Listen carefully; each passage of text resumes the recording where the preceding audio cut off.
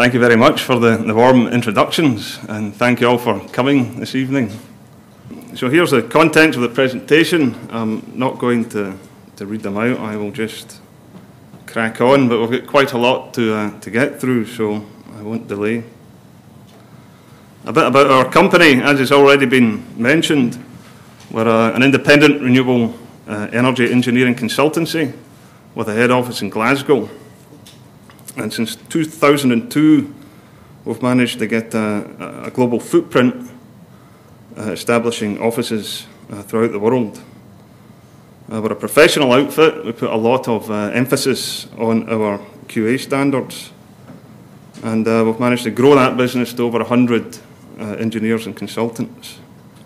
And what do we do? We're involved in the full project life cycle. We get involved in projects from inception right through to construction and uh, indeed operation. And I think that's what makes us quite a favourite company with the, the banks and financial institutions who rely on us for a lot of due diligence work because we understand projects and we stay with them. We're involved in all renewable energies, not just wind energy. And that just gives you an idea of some of the types of project we're involved in. There's our global footprint. We've consulted in over 45,000 megawatts of uh, renewable energy in over 30 countries.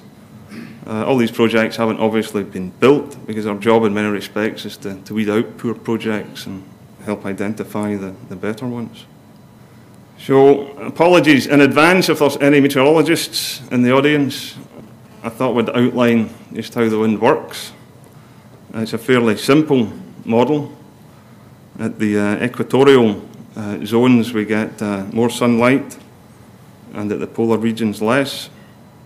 And that basically sets up a transfer of energy from the equatorial zones to the poles, creating wind. And uh, there's three cells shown here that uh, I'll show in a bit more detail in this slide. The same cells. Here is an equatorial position and we've got a lot of energy coming in and uh, the uh, air rising, condensing, and that's what we're calling the, the Hadley cell. And basically, when this air comes down, it spreads north and south and starts to feed a second cell, the Ferrel cell. Scotland's located round about here at the junction of these two cells, and uh, yeah, we get a, a lot of rain but also a lot of wind, and that's what, what gives us wind in that area. It's a mixing of the two cells from the, the polar north and the mid latitudes. Uh, wind shear, the variation of uh, wind speed with height, wind speed along this axis, height along this axis. It's fairly extreme, right in the zone that we want to stick our wind turbines. Uh, you would be better in areas where it's less extreme. But uh, we have to put the turbines close to the ground, so that's what we have to try and engineer our way round. How do we cope with these extremes of uh, environment? And uh, it gets worse. We've got hills that compress the flow, and you stick a wind turbine on top, you've got a lot of turbulence behind, you can get flow separation. So if your machine's sitting downwind, you've got potential fatigue issues. You've got cliffs you find a lot of these in Texas, places like that. If you put your turbine too close to the cliff edge, you could be operating in a zone of recirculation, which can affect performance and life of the, the machines. And uh, there's a lot of talk at the moment of trying to install wind turbines on industrial locations. And uh, you couldn't get a more complicated environment. There's wind flow behind a building. And we use rules of thumb like this, you've got to be 10 times the height of an obstacle uh, away, and uh, the rotor has to be the height of the obstacle above a zone of high turbulence, otherwise, you run into operational issues. But uh, the bottom is guesswork. This is modelling, which is interesting, but not necessarily telling you exactly what's going on. And then trees, they are, they are even worse. Uh, we get uh, extreme uh, wind shear behaviours, exaggerating the, the, other wind shears I showed, and very, very high levels of turbulence. So you begin to wonder uh, about the about sticking wind turbines anywhere. Uh, so someone dragged this out of a, a, a textbook for me. I'd forgotten it from university, but basically we've got a, a, flat plate model, or you could have a pipe or whatever. So you've got a laminar or turbulent zone, but relatively quickly you're coming to a, a uniform wind speed. The atmosphere, uh, completely different environment. This is going up to 1.2 kilometres here, 100 to 300 metres. So wind turbines operating in this zone. And uh, what we're showing here is you've got two completely different behaviours uh, during the course of a 24-hour day, from sunset to sunrise, and then bring into that seasons. So you don't get the same conditions for a second. It's always changing, and your turbines have to cope with that.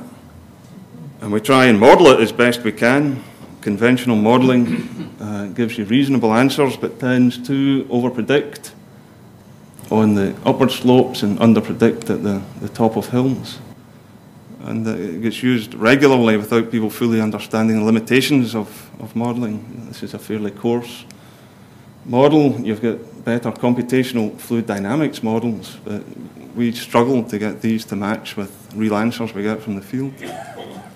So the models are there, they're going the right direction, but they're still restricted. So as a consequence of all these difficulties, uh, people often get it wrong.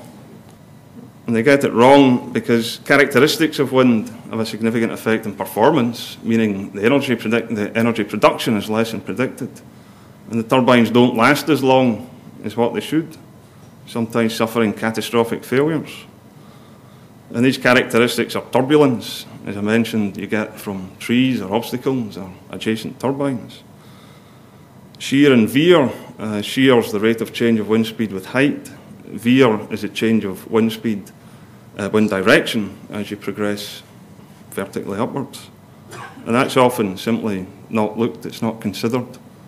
A lot of uh, wind projects. We've got flow inclination, flow hitting a, a wind turbine uh, rotor at an angle, and extreme wind speeds the climate change brings a lot of uh, issues trying to predict these. So, getting it wrong. There was a recent American wind energy conference where uh, three prominent wind energy consulting firms kind of converged on a with these statements saying that what's actually happening with wind farms is about a 10% underperformance. So what's being predicted and what's being observed are mismatched by 10%. It's not plus or minus 10%, it's minus 10%. So there's something wrong in the way we go about our business. And uh, I'm, I'm, not sure what, what we could have done about this one. But, uh, an issue here Kentish Flats. It's a major wind farm. Every gearbox had to be taken out of the turbines and replaced. These are machines that had less than one year of operation. It shouldn't happen. Uh, power curve, we've got wind speed along this axis and the, the power going up this axis. It should follow the black line, but uh, clearly doesn't. So something going wrong there. And the owner of this turbine didn't actually notice that this was a problem because it was windy. And they, they saw their production was hitting budget. I thought everything's all right. And there are some other examples of getting it wrong. Uh, a generator fire. That's a tower collapse, a wind turbine there. This machine went into overspeed during commissioning. Um, someone got the, the, the extreme wind speed wrong in this particular ridge, and uh, we've had a, a little bit of damage on all of, all of the turbines. And I, I, don't know what happened there. Someone must have got their sums completely wrong, and that one got blown right over. But you can also get it right. And getting it right, I think you have to ask some questions. If turbines got too big too quickly, I would say yes. Do we understand the environment within which they work properly? Uh, I would say probably not. There's a lot of room for improvement. Is management of operational assets the right focus? Again, I think not. But just look at what has happened. This is 1985 down here. That's when I first got involved in wind farm, uh, wind turbine development. And in 25 years, uh, well, we're up here. There's actually seven megawatt machines, uh, six and seven megawatt machines in the market. To put things into context, that's the world's biggest passenger aircraft. That's the A380 Airbus. So the pace with which wind is developed is exceptional. And I don't think that the understanding is kept pace with that. Um, this will develop. This is a, a model of uh, risks associated with a wind farm. You've got measurement errors here. In your space domain, it's your, your site, your wind farm development. You've got modelling uncertainty. So those models I described trying to apply information give you this wide error in the space domain. You know, the data set, your measurements, they're only representative of where they're measuring. And you've got your time domain, where you're assuming that the future is going to be like the past. And you're also trying to make estimates as to, to what might happen with regard to, to climate change. So we're only looking at part of the, the project life cycle here and trying to consider how we might deal with modelling elements of it and how we might deal with operation should things be different to what you modelled. And uh, we've come up with a device, we call it Galion, it's a, a LiDAR device, state of the art wind capture tool. And this is based on observations that I've been making for the, in excess of 20 years on issues surrounding wind farm developments and the, the technology. So we're not interested just in wind speed and direction. As I mentioned, we need to understand about wind shear, wind veer, flow inclination. We have to have a really good understanding of these characteristics of the wind at any given location. Not just the mast, but where all the turbines are going. So LiDAR, that's a LiDAR device which is uh, sitting, sitting in Spain um, it's a mature technology, it's been around for a very long time, and we are applying this to, uh, to wind energy. It's a very compact device. I'll show you a bit more about that in a minute. We can acquire all the data that we're interested in with regards to wind flow, uh, wind character. We can measure at the turbine locations. Uh, this device has got a rotating head, so it doesn't just look upwards like a, a meteorological mast, it can be rotated and effectively measure wind speed two kilometres distant in a hemisphere of two kilometres radius. So we can cover a lot more space and validate your wind flow models. So where we've been making predictions, we can actually get real data and make sure those models are doing what they should be doing. And we have been using it for and will continue to look at performance issues, why turbines are not behaving the way in which they should. It just gives you a bit of scale. That's a deployment uh, just before Christmas. And what does it do? Well, there's microscopic particles that travel at the same speed uh, as air. So you have a laser beam that's of a uh, wavelength that's small enough to reflect off of those particles. And we use the principle of Doppler shift to establish what the, the wind vector is. And we should get a little sequence, and the device tells you what the wind speed was at that location that you were looking at. In fact, tells you the wind speed right along the, the laser beam at whatever gates you've set up to, to capture that information. Here's some results. And basically, what we have uh, here is, in this side, this is direction. And you'll notice it's just on a loop. You're getting quite uh, extreme behaviours in direction and the direction isn't the same all the way through the vertical profile. It's very interesting uh, when you try and consider the forces that are on a rotor and uh, the assumptions that are made behind designing a wind turbine rotor because they're not necessarily what we are observing in the field. And this is a part I find more interesting. this, to my knowledge, is the first wind turbine uh, rotor wake that's been captured by LiDAR. So this is a plan view. We're looking down on a, a turbine. Uh, here's the rotor, and that's the wake. It did work. So we subtract all the, the noise, and that is the wake from a wind turbine. So we're able now to look at the structure and correctly position wind turbines such that they're not affected by neighbouring machines. Up until now, we've been reliant on putting smoke canisters in the end of turbine blades or modelling. So this is a major, a major step forward. This again is a plan view.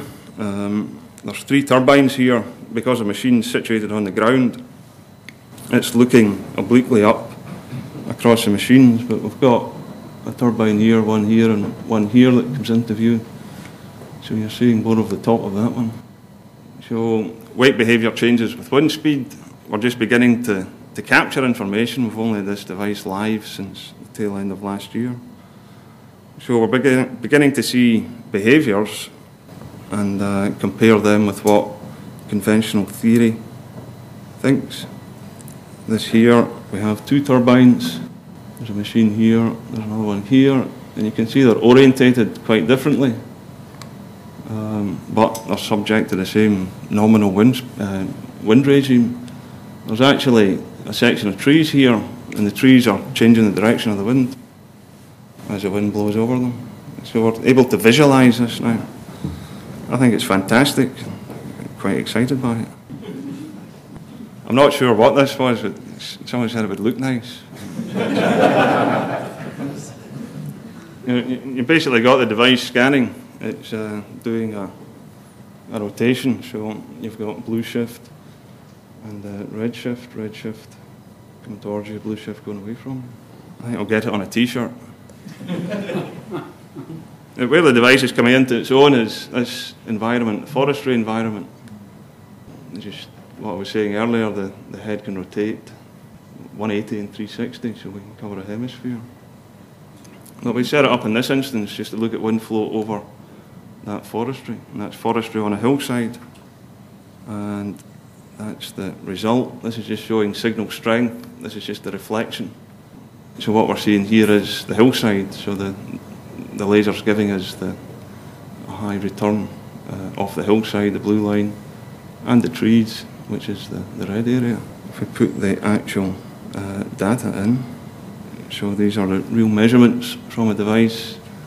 This is the wind coming towards you, coming towards this point, and the wind is moving away. And basically, what that means is that the, the trees are causing a phenomenon recirculation. Uh, so you're getting recirculation because the trees are on a hillside, and this is not something that any textbooks or modelling would tell you.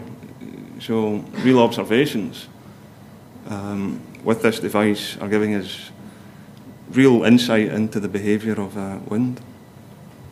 So we can avoid putting turbines in locations that are uh, potentially damaging next to, to forests. And there's also many issues with operation. I suggested that perhaps wind turbines were not being operated in a manner to which they, they could be. I showed you that power curve. So that's our simple model of a, a wind turbine, a wind turbine performance. Uh, we've got our input, all these parameters to do with the wind behaviour, the system, the part that turns the wind energy into electricity, and the output, the energy, information from the, the, the SCADA system. Supervisory data, uh, supervisory control and data acquisition. Typically consumes 10 minute, uh, stores 10 minute averages of uh, wind speed, power, whatever. So the LiDAR device I just mentioned can help us in here. Traditional vibration-based condition monitoring can help us with the, the state of the, the system. But uh, we came up with a software tool that uh, looks at a fingerprint, if you like, of power curve or other parameters and looks at deviations from that and flags up uh, issues. Why is it important? Then here's the part technical losses, that's energy production from a wind farm. The reckoning is underperformance, just poor performance of the machines could be 1 to 3% of annual production. And uh, you can do something about that. You can generally do something about availability if you understand the system condition. So we're looking at 3 to 9% more energy you could potentially get from operating wind turbines. And that's just an indication as to reducing energy by percent, what it does to the, the profitability of your project. It crashes fairly rapidly.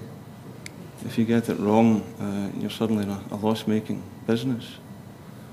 And uh, this graph is just illustrating what happens over the typical 20-year life of a wind turbine, dependent upon whether you use some sort of proactive maintenance regime as opposed to a reactive one. It'll more than pay for itself. But people don't tend to worry about this down here, which is when you should be characterising your, your machines. And these are even worse than the other ones. This is a power curve that should be following again that black line.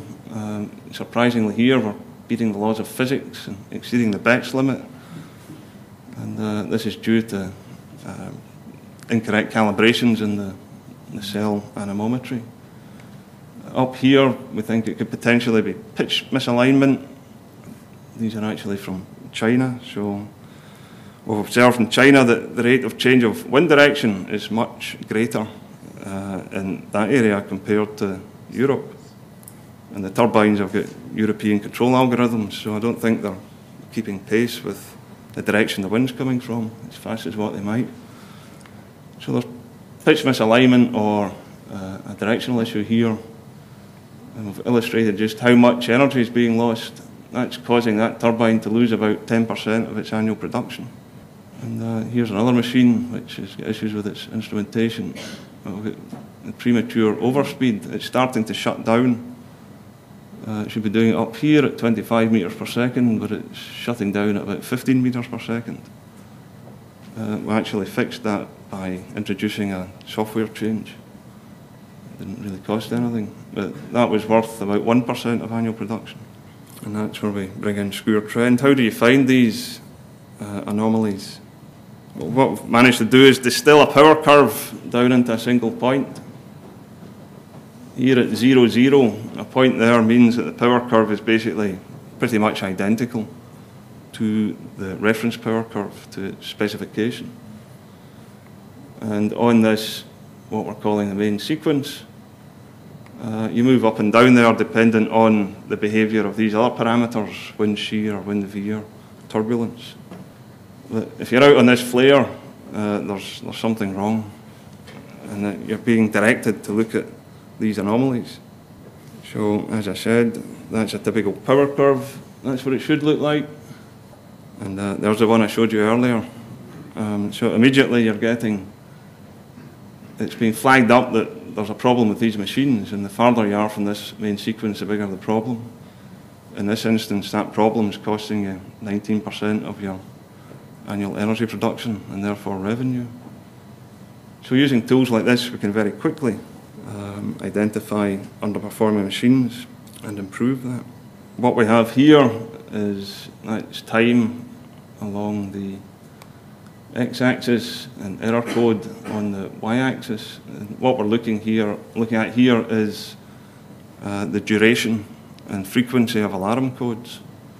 So some of the catastrophic failures that I showed you, I know that these could be prevented if you suddenly get a, a series of the same fault happening again and again. The SCADA system could take control and shut a machine down because it sees something that hasn't happened for a year. We can do even more than simply count uh, alarm events. We can get in behind how much energy is potentially being lost uh, due to that event. Um, we've got a downtime loss, which could be the grid out, for example. We're also calculating this performance loss, so this is something you can do something about, whereas you can't do anything about the grid.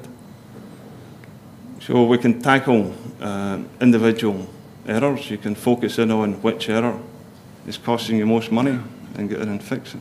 And this is something I never actually thought that we would be able to do, but we can. Uh, down here is a it's a simple trace. This is simply looking at the temperature at either end of a, a, a generator. There's a driven end and the non driven in bearing temperatures. And this is what a normal turbine looks like. The temperatures are very close. Up here, we looked at historically a failure of a generator. and you can see that there's a slight gap emerging between those two temperatures. So trending that, you would see a delta, you would flag up an alarm, and you would go and look at this machine and probably find out it's out of alignment, and that's potentially what's causing things to heat up. But they replaced that machine and it failed again, exactly the same way. I don't know what's peculiar about that machine. But we can predict failure using 10 minute averages of SCADA data. I thought you would need to have uh, online condition monitoring to do that. This is a vibration sensor that's, sensor that's typically fitted to um, a turbine. That's normal behaviour, that's that behaviour there. And as you can see, it's going off the scale there. So again, you'll get some warning of a deterioration of a gearbox. So simply by looking at data that's already there, that's already being produced by the machine, we can get a much better understanding of the behaviour of our wind turbines. And it pays, it pays handsomely if we can get in and, uh, and deal with these, these problems. And the key thing is the rapidity of us being able to do performance assessment. Finding those anomalies rather than looking at 100 machines in a, a wind farm, you're being directed towards the ones that are, have a, a, genuine problem. And the cost of doing this, I think, is uh, more than offset by the benefits. So there's a summary so far. I think wind is very simple, but uh, where we uh, deploy wind turbines, the structure is quite compl uh, complicated and it gets increasingly complicated when we introduce obstacles and trees and what have you. I think the current modelling techniques and the size of wind turbines leave operators exposed to risk, but it's a risk that we can now uh, quantify, particularly with the, the device that I mentioned, the LiDAR device.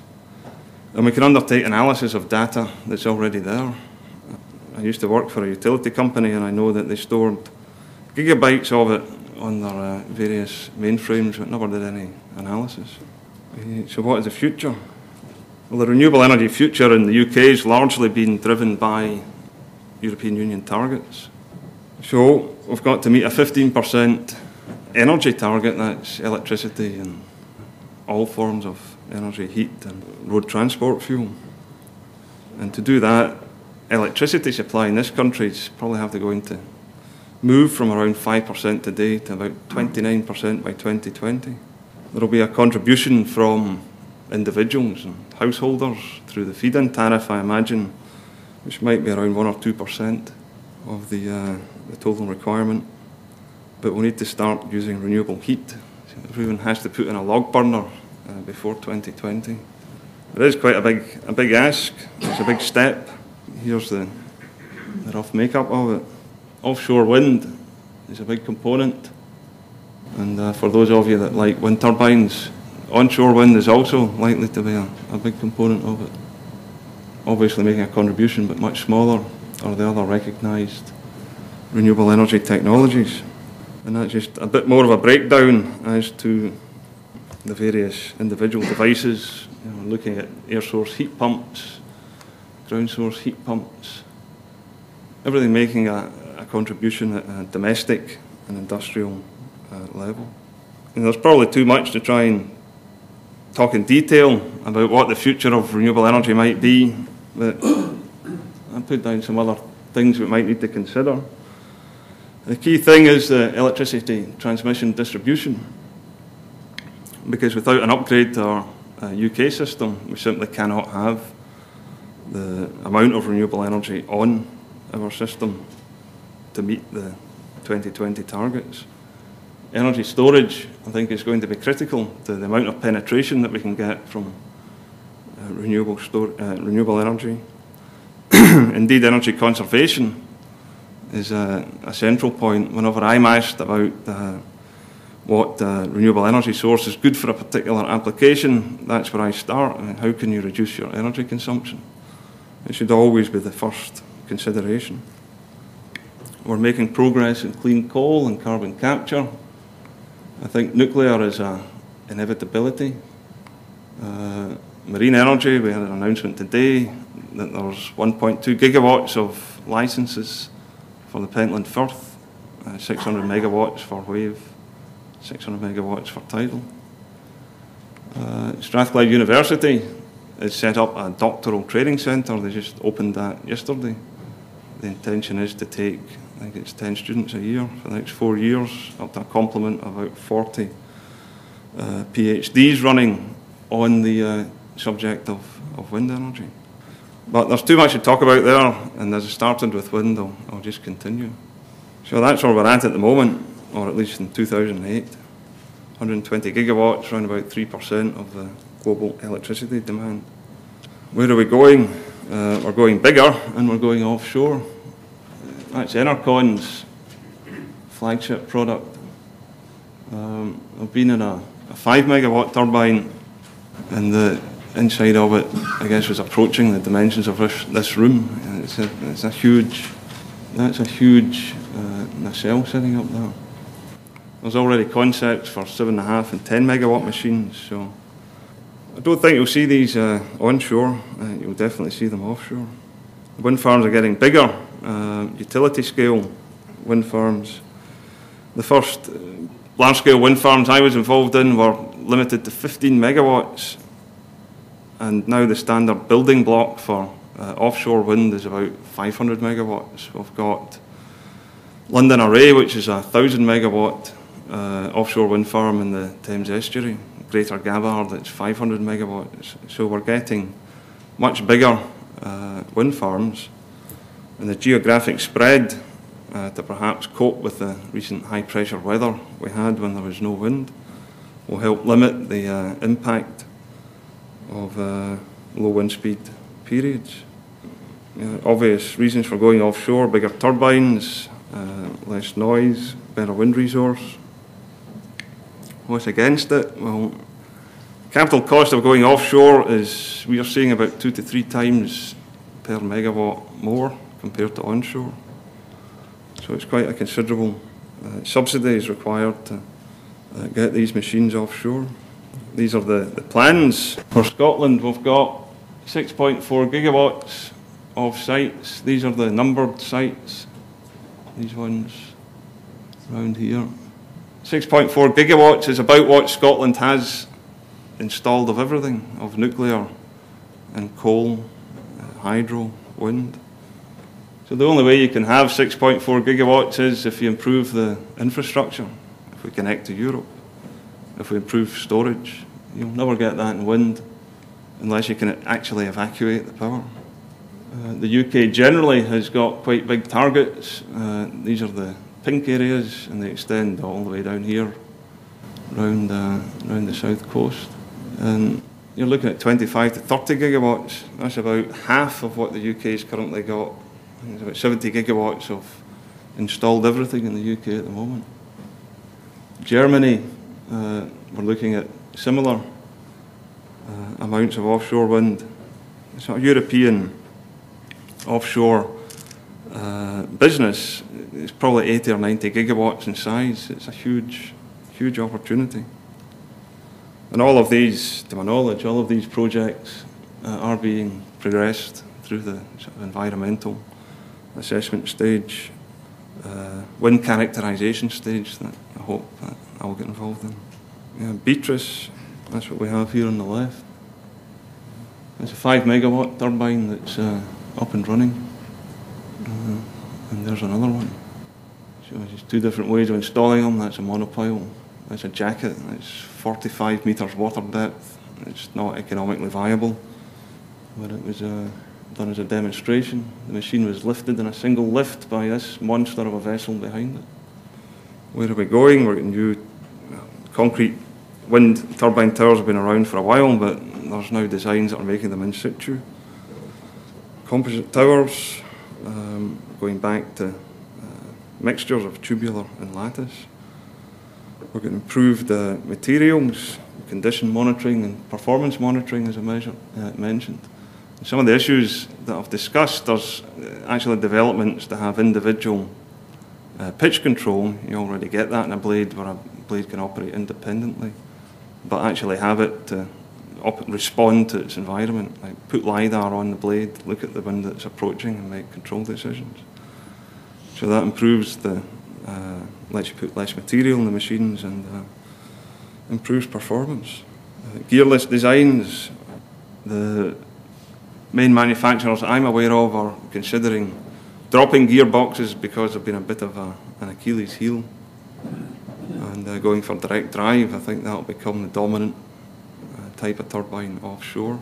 Superconductors, um, there's a, a company I was talking to recently, they reckon they can get significantly more power out of the same space using superconductors. So it's you'll see generators shrink in size and reduce in weight and increase uh, their production.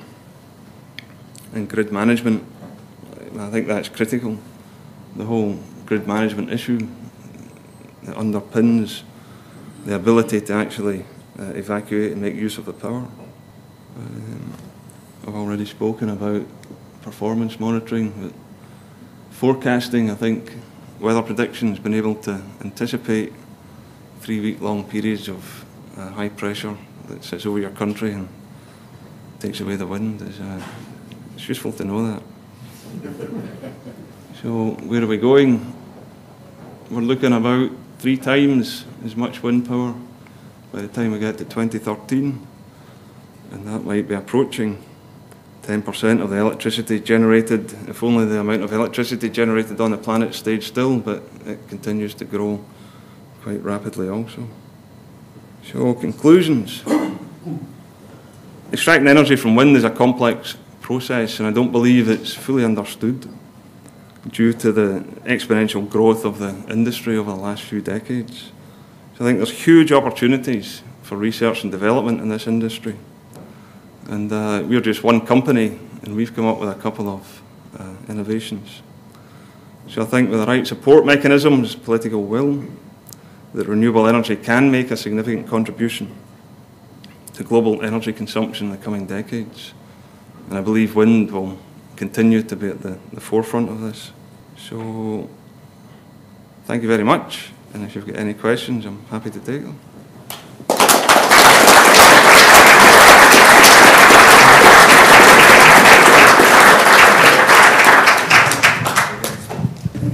Thank you very much indeed for that. I think uh, there are a lot of things I'm sure people want to ask questions on. There are microphones, one on each side. If you'd like to indicate uh, that you want to ask a question, then I'll try to get a microphone to you. Um, usual rules of engagement, please. Questions brief um, are helpful because then more people can ask questions. It's quite helpful too, I think, to the person answering the questions, to other people in the audience, if you just say who you are, and if you come from a particular organization, then to, to, to say that too. So who, who would like to start with a question?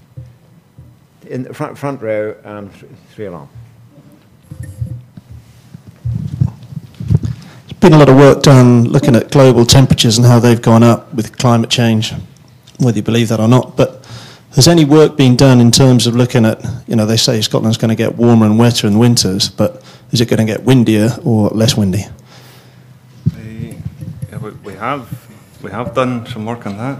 Um, we looked at the seven or eight recognised uh, climate models, and over the period of interest, which is nominally 20 years, the nominal life of a, a wind turbine, uh, we're seeing an imperceptible change in average wind speeds. So we don't think it will have a significant effect on energy production. It's within the uncertainty we already attribute to uh, energy production the biggest risk is potentially on the extreme winds and the frequency of them. And as I showed, they're quite difficult to predict. Thank you. Um, halfway, halfway back, about three in. If you could please give, give, give your name and if you're any organization too. Uh, Charles Scott, a retired consulting engineer. I'd just like to ask uh, your opinion in, in, respect to offshore wind farms. You indicated uh, additional cost and installation and also maintenance. Do you think the offshore can become as economic as onshore without enormous subsidies? Um, I would say that's totally dependent upon the price of oil. Uh, I believe that uh, oil or petrol is due to increase to around about £1.20 a, a litre, so I think it's all a, a relative thing. Uh, today, uh, no, it's not economic. I think with the advances that we're looking at in terms of manufacture, uh, I was in uh, Houston last week, and there's a company there who has been involved in some of the 6,000 uh, offshore installations that are extracting oil and gas from the Gulf of Mexico. And it believes it can produce uh, wind turbine foundations and towers for offshore cheaper than the, the Chinese. And that's down to their knowledge of uh, offshore engineering. So I think if the offshore sector, the offshore oil and gas sector, starts talking to the uh, offshore wind people, you might see some uh, benefits there and reductions in cost. And there's also issues of access. Uh, people are finding out the hard way when it comes to uh, accessing offshore uh, wind farms. The economies of scale help bring down cost. So I think the cost will come down and will it be economic will depend upon the, the price of oil. Thank you. Um, front, about four rows back, uh, gentleman in white shirt. You've mentioned storage a couple of times. Would you like to comment on uh, what storage mechan mechanisms you think are likely to meet the demand for, let's say, a, a few days of storage? Could they include superconductors? I know nothing about superconductors. uh, storage that I've seen that works well with wind uh, is megawatt sized flow batteries. That's been used successfully, uh, not just for uh, wind, but for uh, locations that are at the end of an electricity grid, where it's cheaper to put in a local flow battery to meet fluctuations and to meet peaks in power demand than it is to put in a bigger conductor. So flow batteries is where my money would go. But I'm going to go and find out about superconductors now. front, front row. And, uh, and then the gentleman in the standing in the doorway. Thank you, John Baxter, a fellow of the Society and also fellow of the Royal Academy of Engineering from BP. Um, I'm just intrigued with the challenge and the dilemma that we have of uh, on the one hand, the politicians talk very positively about wind, and I've heard Alex Salmond say that Scotland can be powered by wind alone.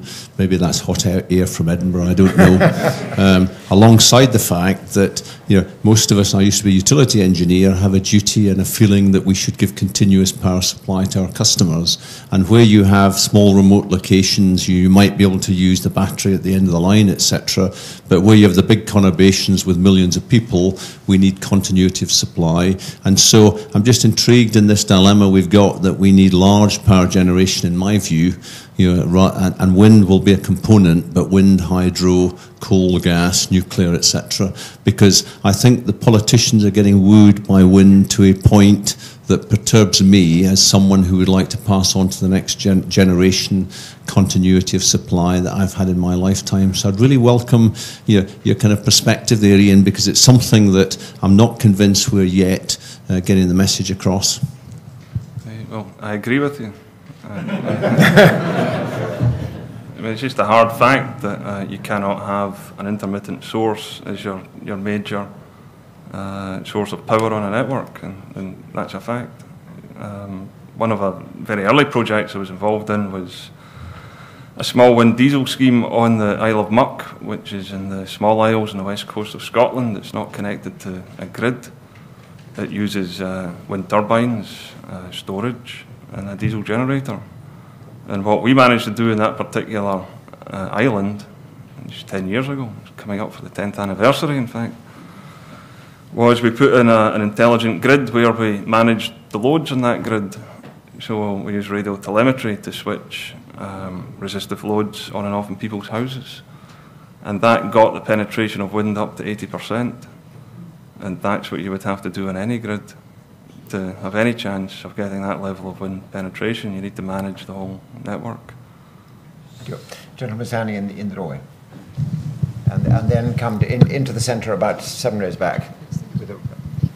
Hi, my name is Patrick Crosdale. I represent P4P Energy.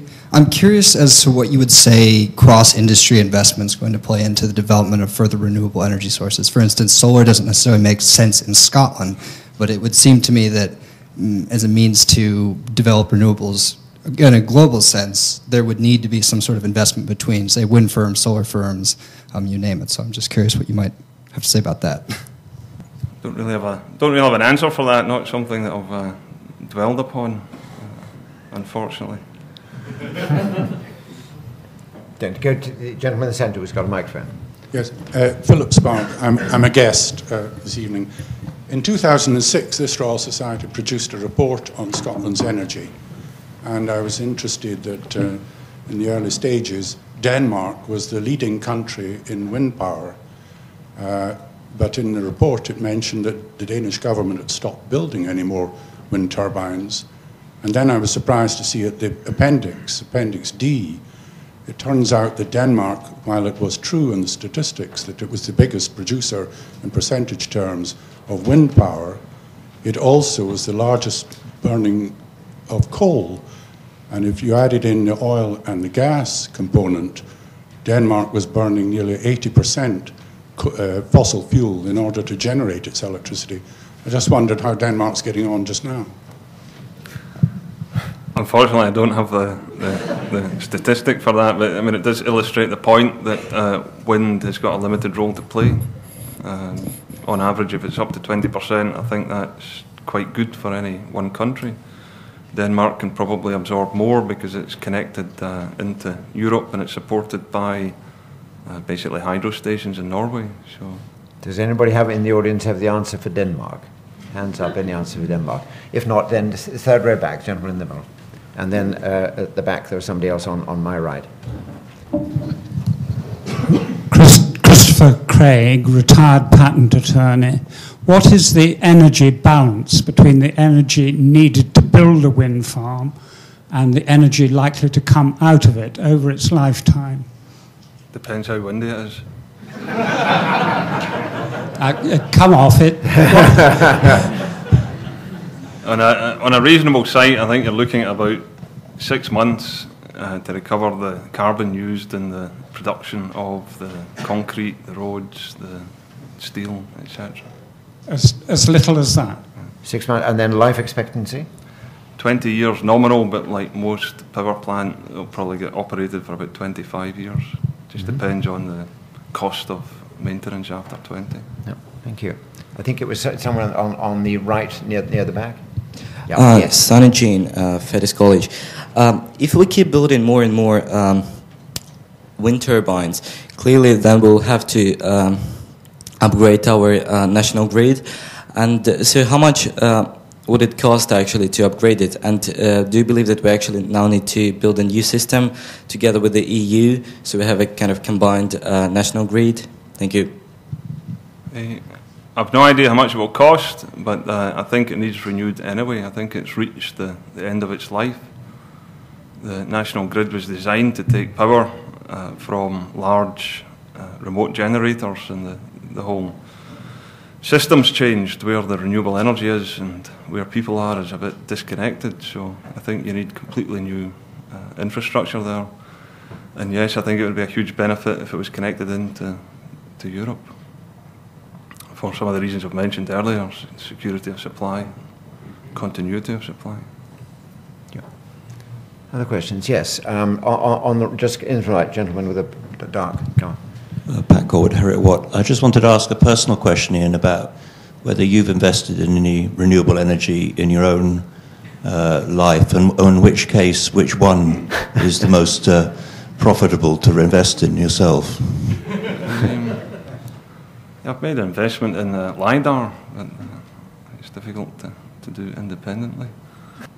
Personally, I've not made any investments in any renewable energy technology because I do a lot of due diligence work and I'm kind of barred from doing that. So I've assessed a lot of technologies, so I don't think it would be fair of me to, or indeed moral, to make investments in technologies that I know could be a winner was thinking more in your domestic situation, like in your own house. Personally, I've, I have, I have a wood burning stove. and pro- no generator, no I'm wind pro- generator. I'm progressing, yeah. uh, planning application for a small wind turbine. All right. no, it's well away from the trees.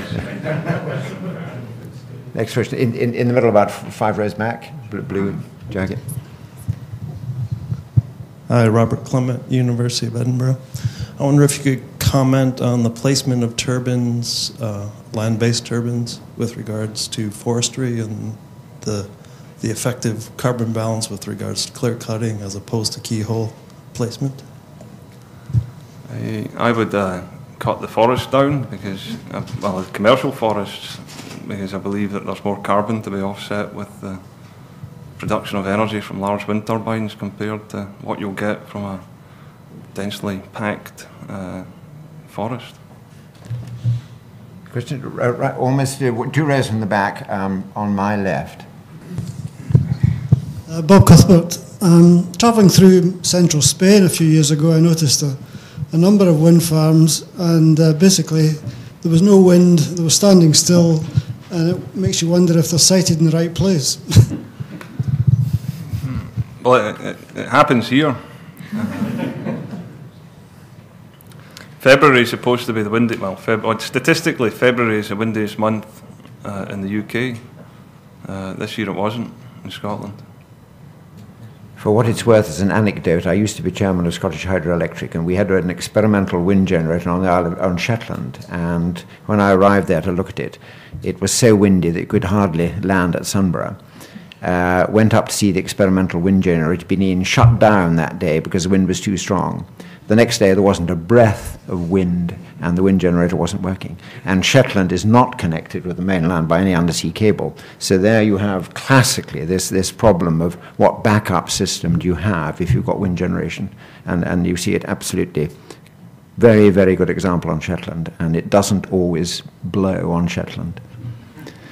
Other questions? Yes, uh, on, on my left, about six, seven rows back. And Tom, uh, I noticed in your, your growth chart there was very little movement in hydro. Um, what's the main limiting factors there? I believe that most of the, well, if you look at uh, Glendoe, that was the, the first major hydro project to, to come online in uh, decades. Basically, most of the big resource has already been exploited. And it's also very difficult to get the hydro project through the environmental permitting process. It's very challenging. I know a community group that's been at it for many years. It's um, front second row again. And you failed to give your name last time, so perhaps this second chance you can give your name. Charlie Briggs Heriot Watt University. Um, you talked a little bit about um, offshore turbines will go gearless. I know General Electric are doing that, for example. Um, but I know there's a Norwegian company, Sway, who's working on downwind machines. Do you think we're on the cusp of offshore and onshore machines diverging, not just in terms of scale, but also in terms of design? Uh, yes, I do. Um, there's also a Norwegian company looking at floating wind turbines. And uh, the state of Maine have bought into that technology to try and introduce it to the United States. So, yes, I think you'll see a divergence in the comment I made earlier upon the oil and gas sector actually talking to the wind sector. I think that will help push that divergence ahead. We're, we're limited in the uh, onshore to, I think it's four and a half metres of a tower that you can transport. So it's difficult to see how much bigger or how much uh, larger turbines would be tolerated onshore in any case. Front, front row again, Mr. Max and then about um, six rows back, right, right on then. John Baxter, BP. Ian, this is part of National Science and Engineering Week, this event, and we're trying to encourage young people to pursue science and engineering.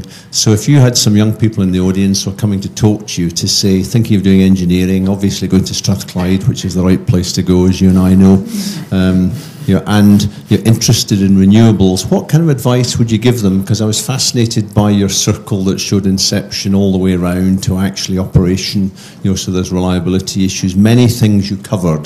Uh, what would you kind of get them thinking about in which directions they might go? Because I think it's so important that we are giving role models, we're giving pathways to young people to think about their careers, to think about the direction that gets them into real engineering, real science. I think it's all about, uh, certainly for me, it's always been about challenges. And I think I've presented a whole number of challenges here. There's a, to me, it's a whole new dawn opening up in the understanding of wind flow and wind structure. So, get, showing some of these images, I hope, have stimulated people into seeing the level of interest that there is in, in wind. And uh, in our company, we try and take on graduates for summer placements and generally throw them in at the deep end. So be prepared to, to swim. I think there's a there's huge and varied opportunities out there. Um, we've got we've got a, a, mixed bag of people, analysts, project managers. Um, it's difficult for me to give specific guidance to specific individuals. We like people that are focused on um, doing a lot of number crunching, and quite sadly, personally, I, I get a bit of a kick out of that and, and, and still go back to it. But people that can think on their feet, um, we've got a lot of young engineers out there that go out in the field regularly. And uh, getting involved in the practical side of engineering, uh, I was helping students at uh, Engineers Without Borders session a few weeks ago at Strathclyde University. And to me, they, they benefited hugely from the, the practical application of picking up tools and working with them. And uh, I would strongly recommend and encourage that uh, because it's got huge benefits when you're out doing real projects like the things that, that we're involved in. Helps develop the mind and helps you to think on your feet. So go and do something challenging that you didn't think you could do. Well, I know from one of the questions right at the back, we've got some people who are at school at the moment, so there you are, there's tremendous encouragement. Um, there was somebody, a sixer, on, right on the end. And then we've got time for, I think, about another two questions. Yes, Al- Alistair Alexander. Uh, I'm just intrigued as to, as to what's driving the expansion of, of wind energy. Is it standalone wind energy companies, or is it uh, energy companies, some of them with finite prospects, I think particularly of oil and gas, looking at means of diversifying? Uh, both the, there's a feed-in tariff which is effectively aimed at individuals, communities, uh, factories to, to look at their own renewable energy opportunities. So that's a, a 20 year long uh, tariff which is going to hopefully stimulate a, a, whole new community of people onshore to uh, look at wind. Offshore, the risks are so big that it's, uh, it's, it's, going to be driven by utilities. You're never going to see small, I don't think you'll see small companies out there. If you look at the awards, uh, the licenses granted in the Pentland Firth for marine energy, it's, it's basically utility companies that can take the, the development risk. They've got the balance sheet to, to cope with it. So I think there's two areas. Okay, another couple of questions. Uh, right in the middle, halfway back. I'm not sure which end you're going to get. You're going to get two microphones. Uh, I'm Kate Byrne. I have no particular expertise in this field. Um, you showed that uh, at present the contribution of wind energy is very small. Um, and it's set to grow enormously. And I think you had a graph that showed the onshore. I, I know you've been talking about offshore, but you showed that the onshore was going to grow very considerably. I was wondering if you could give us any idea about what that means in terms of the amount of countryside turning into wind farms in Scotland, particularly. Well, it'll be a relatively uh, small percentage. Hopefully, ideally sited, situated in locations that have got minimum impact upon people. Whitelee Wind Farm to the south of Glasgow, I think, is a great illustration of a, an appropriately sited uh, large wind farm. That's about 340 megawatts in size, getting expanded up to 500 megawatts, and the feedback from those that live around it is uh, generally positive. Uh, you cannot get a car parked up there on a Sunday because of the interest in people going up there cycling and dog walking. So it's what was a, a large uninteresting commercial forest is now a much smaller commercial forest and far more interesting than what it was. We've got a last question.